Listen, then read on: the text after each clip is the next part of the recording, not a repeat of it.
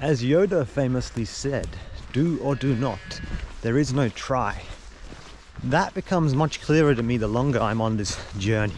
In the past, I used to always tell myself, oh, I'm going to try no NoFap, I'm going to try this, try that. Well, by having that attitude, I was already failing because I just had an attitude of, oh, this is something I could do it maybe, but it's a bit wishy-washy around the edges. Let's just go and try this.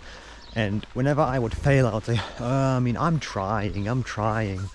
But it was a completely wrong mindset to have because on this journey, we need to have very, very clear goals and boundaries for ourselves. We need to have clear goals in terms of what we want, and then clear boundaries in terms of lines that we don't want to cross and things that we don't want to do. I mean, it doesn't mean there's not going to be slip ups and no relapses, but when once I shifted my mindset more into just saying, all right, I'm just going to do NoFap, I'm going to quit PMO, like that's when it really became possible to stay committed on this journey because there's going to be so many days where your mind will just feed you with all these negative thoughts and there'll be all these um, you'll have there'll be all these tendencies and bad habits built up that are like essentially a gateway to self-sabotage right?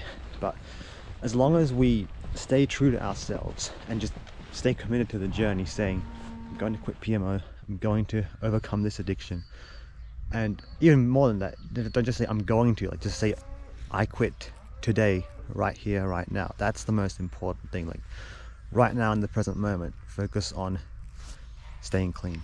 So yeah that's my message for today just gonna go herd up the cows. It's just another regular autumn's morning here although it doesn't feel much like autumn at the moment it's actually quite warm but yeah anyway um, still going day 75 checking in i'm not really thinking much about the days at this point but just yeah slowly getting up there. Apart from that another 10 days left of the dopamine fast.